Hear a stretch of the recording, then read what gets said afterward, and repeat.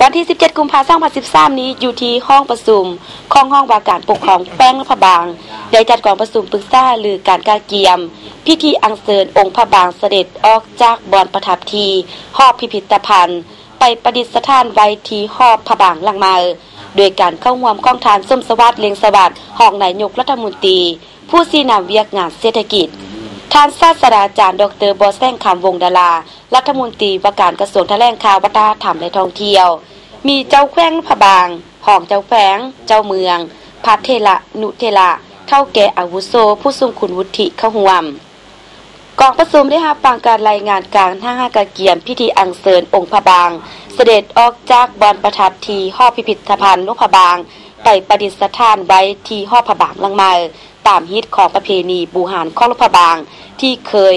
อาราธนาอังเสริญองค์พระบางลงหนทรงผ่านมาแต่ละปี ประกอบด้วยสามพิธีการใหญ่คือ พิธีฮิตของเดิมของสาวลงพระบาง บูหานพิธีทางศาสนา และพิธีทางรัฐการ ซึ่งจะได้มีพิธีแห่ตามตัวมนุษย์พระบาง